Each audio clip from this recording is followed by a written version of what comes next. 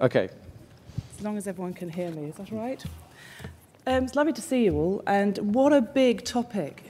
Investment, innovation, and change. There's plenty of things I could talk about, but I'm going to talk about education and wonder how our education of our, our children is going to develop over the course of the next 20 or 30 years, driven by innovation, investment, and change. Um, and I say this as a mother of an 18 month year old. I could have brought her here with me now as the ultimate prop, but uh, she's gone swimming with her dad, so she's not here. But it is very interesting to see an 18 month year old. She loves my iPad. She intuitively knows what to do with it. The iPad was the first gadget I've ever bought without an instruction manual, and it truly doesn't need one. And how, how will she evolve and grow using digital devices as learning? As, as entertainment as well, and the two intertwined with one another. She'll be a year four primary student in 2017. Already, we see schools with an array of interactive whiteboards, with um, a number of computers per classroom. Um, but what else will we see by 2017? There'll be, will there be one gadget per child, even at year four age? Will there be um, a teacher handing out and taking in results or interaction, even from primary school children, through devices in, in a more sort interactive way? And when she's 20, um, 20, in 2025, she'll be about 16 and she'll be taking exams. We have quite a digital world already, and still our exams are taken with pen and paper sitting at a desk, writing essays like I did when I was um, taking my exams. And that surely will change as we go forward. She'll be graduating in around 2030, 2031. And already, from my perspective in Pearson, I see universities taking on um, taking on digital devices in a really strong way. There's some universities I know of in the States that um, don't use paper or hand out iPads to students on day one. um, and I'm sure there's examples in other parts of the world as well. But will all universities be doing that? Will our, our content be mainly on digital devices or not? Um, and there's so many different opportunities for change to build our education to be more interactive, more personal, and just to be day-to-day -day part of life. And it'll be very fascinating to see it. Um, in looking at this, I think about what innovations I see around us now that will serve education going forward in the next few years. And I say this from, I sort of feel that the industry is sort of previously known as print publishing, and it's hard to give it a title that's, uh, that's the next one on. But the five trends I see now, of course, are, the first is apps. I'm sure you've all spent time thinking about that today and, and in your day to day roles. Um, the one I love particularly about apps are the passback apps. I don't know whether you've come across these, where um, these are these apps for sort of one to two year olds, which are designed so that when children are being a bit antsy in the back of cars, you pass your iPhone back. And there's this category emerging of passback apps, which I think is brilliant. And then the next, the next area or trend I think of is, is digital education and multi platform devices that we see. Um, there's a wonderful school in Bolton, an academy called ESSA Academy. It's on YouTube if you want to take a look, things there. And uh, a, a gentleman there called Abdul Chouan, who's a chemistry teacher, um, was also in charge of IT when this newest academy was set up. So he bought a thousand iPods and he gave them to the 900 students and the teachers with a, together with a set of iPads. And he saw what happened. And attainment has truly gone up in that school. It's gone up to getting 99% A star to C's in 2010, which is an achievement for any school, and they only had 67% the year before. So it's interesting to see how these devices are really raising attainment if they're used in the right way. And in this example, they use the iPad, the, the, the um, I guess they must be the touch ones that they have. They're using them for communicating, sharing, creativity, understanding class material, looking up words you don't understand when a teacher is lecturing. All of these different areas are being used, and it's fascinating to see how this one academy has really made this work. I'm sure it's not the only example, but it is, a, it is an interesting place to look.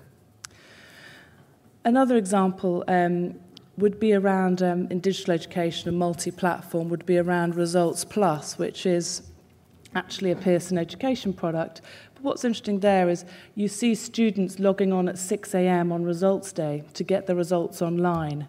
And when I got my results, it was a case of waiting for it in the post. But it's really different now. You can log on online, get your results there and then, and you can get a much more detailed analysis of your achievement, what you did right and what you did wrong in different segments of an exam paper instead of just one overall mark. And that's tremendously helpful in terms of personalized learning and people understanding what they can, what they can good at, what they're going to achieve and how they need to develop further. The third trend I want to just talk briefly about for an innovation education is really about playing.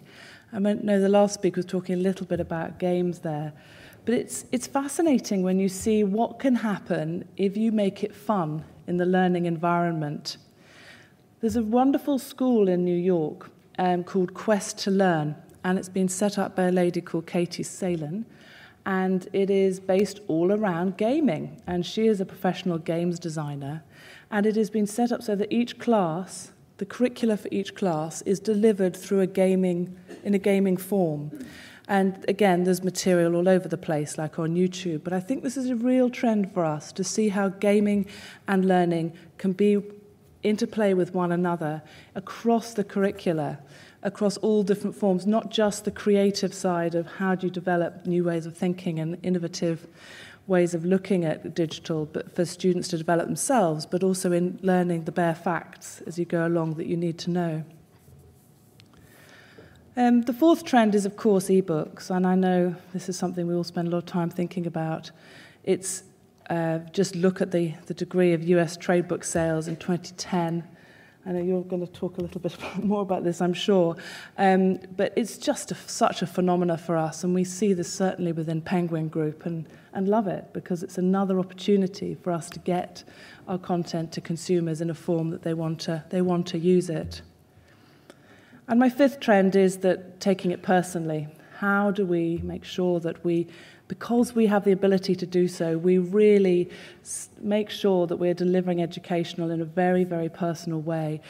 Um, it was tough to do it before when we relied solely upon textbooks, but now we have a number of different forms of delivering education and understanding student attainment as we do so.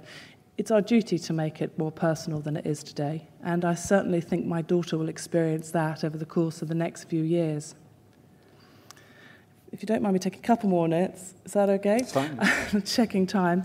Um, so we think about those trends we have now and thinking about how children and students will emerge and grow in the future. But how do we make sure we nurture innovation in our organisations? Pearson's got 37,000 employees. We're spread around the globe. I've worked there nearly seven years, and it's interesting. We think, how do we innovate? How do we make sure we get better? We are getting on with it. We had nearly 30% of our revenues last year came from digital. Um, and we're doing a lot of work in that area, and we've got some nice new products out there that I'm not going to brag about, but um, I like them every day. Um, and I think there's, it's the barriers to innovation in any organisation are, are, are, are high, but we, as long as we all keep the customer in mind first and think about who is the end consumer here, who's the student, who's the learner, and start with them and think about how do you make it personal, how do you make them tools for effective learning and teaching, as opposed to starting with what we have ourselves in our business. So start with the consumer and then look internally. The second big challenge, of course, is how do you free up people's time to work on innovation? Everyone's got a day job. The people with the bright ideas are also responsible for delivering end of year sales on something else, for example. And that's very hard. I don't have an answer for that except for this having a culture for moving people around, for secondments, to freeing up people's time, for people being able to take over each other's responsibilities as you do so. And then the third one I notice is sometimes some people get in the way of innovation because as somebody a bright spark has the most wonderful idea in a business, as it filters up through the ranks, the bright ideas, it can sometimes get um, sort of tempered somewhat. It can sometimes get diluted as to what it can be, and it loses its spark and it loses its momentum. And the ability for anyone in the organization to go to the head of business or the CEO and be able to say, here's my idea, help me with it, is very helpful indeed. And I feel we have, do have that in Pearson, and that works quite well, but I'm sure we could get better at it too. So, those are just a few ideas from my perspective and thinking about education. Overall, it's all about individuals, not groups. It's about individual learning journeys and choices.